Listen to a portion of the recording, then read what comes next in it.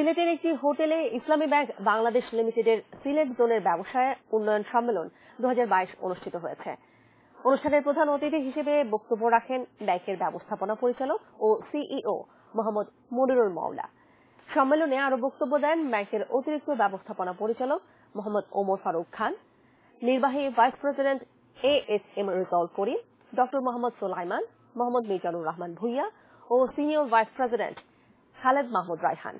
অনুষ্ঠানে সভাপতিত্ব করেন সিলেট জোন প্রধান শিকদার মোহাম্মদ শিহাবুদ্দিন।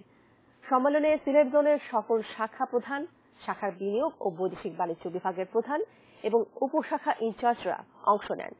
এর আগে সকালে সিলেট জোনের এজেন্ট ব্যাংকিং ব্যবসায়, উন্নয়ন সম্মেলন এবং মানি লন্ডারিং ও সন্ত্রাসে অর্থায়ন প্রতিরোধ বিষয়ক কর্মশালা অনুষ্ঠিত হয়।